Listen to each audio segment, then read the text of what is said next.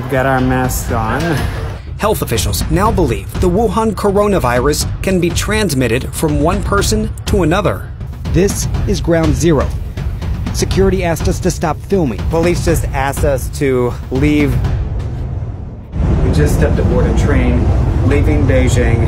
We're headed to Wuhan. That's considered the ground zero of this coronavirus.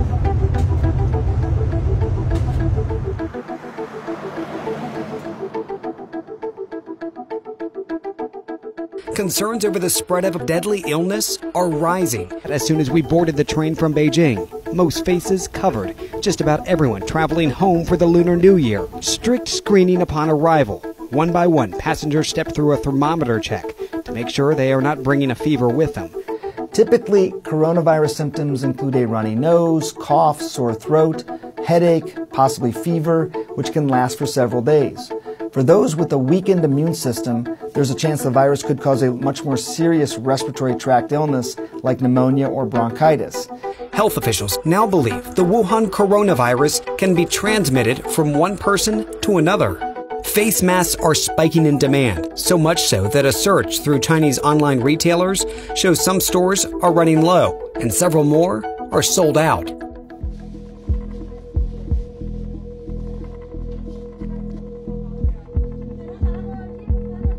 So, this is where authorities believe the source of the coronavirus is. It's the wildlife and seafood market. And you can perhaps see over there it's cordoned off. You've got police at all the corners. It is so sensitive that within minutes of us arriving and recording, security asked us to stop filming. So police just asked us to leave the market area. They said we have to get official permission, and once we get that permission, we can come back. The reality is we won't be granted that permission. So instead, we're able to drive now through it, but you can see they've closed off the entire market area. No shopping is going on, no business whatsoever. It's just empty. They shut it down on New Year's Day, trying to ease fears, suggesting they can handle the virus. But the number of cases continues to rise, both inside China in major cities like Beijing, Shanghai, and Shenzhen, and outside.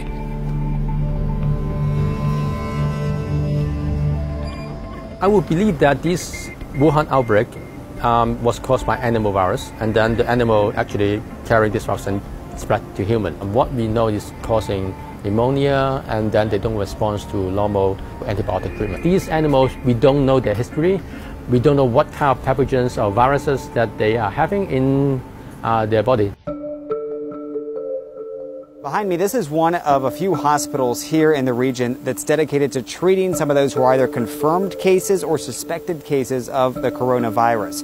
Out front, you've got a few staff members who we notice are all wearing masks. Some of them are even wearing protective gloves just to prevent any potential exposure.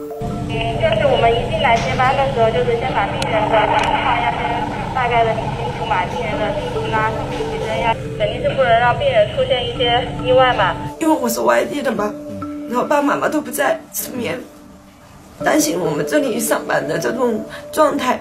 我说我们说不要紧我们说我们的防护很到位。其实是给他们是让他们安心我们自己其实说不怕是不可能的谁都怕。啊真的很担心但是我们在这个工作岗位上我们必须就有有自己的使命感，必须去做这样的事情。We at the National Institutes of Health here in Washington are already getting the sequence from the Chinese of the virus and of developing a vaccine. But in any situation, you're talking really about several months to years. So there's not going to be a vaccine for this thing readily available. We're going to have to rely on classic good public health measures. As hundreds of millions across Asia travel for the Lunar New Year, there is concern that this virus can spread in places like airports, places like railways. It's brought the normally festive holiday mood in Wuhan to a halt.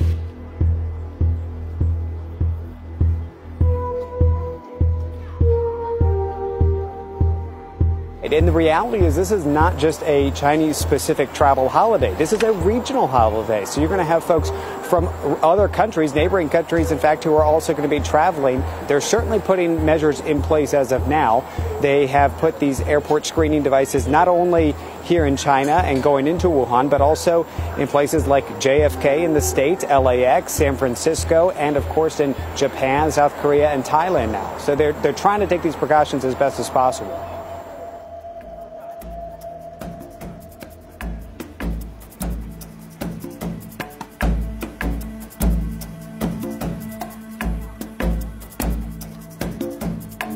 A rushed checkout sparked by a 3 a.m. phone call. Our rush right now is to uh, check out, get out. We headed to the train station as soon as we got word.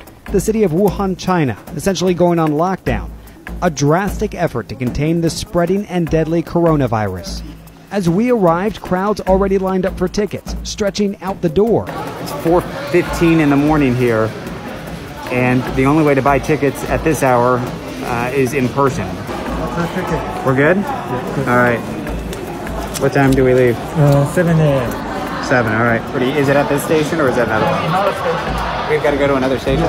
It's a station closer to the city market. To the market where, oh great, so to the market that's shut down right now, uh, the source of all of this, uh, to try to get a 7 a.m. train. All right, we've made it uh, aboard the train, departing shortly for Beijing. Some are making the difficult choice to be apart, sending their young children outside the city limits while they stay to face the unknowns back home. So the city of Wuhan essentially on lockdown. But a lot of health experts are now questioning whether this will really be effective in containing the virus, or is it a few days too late?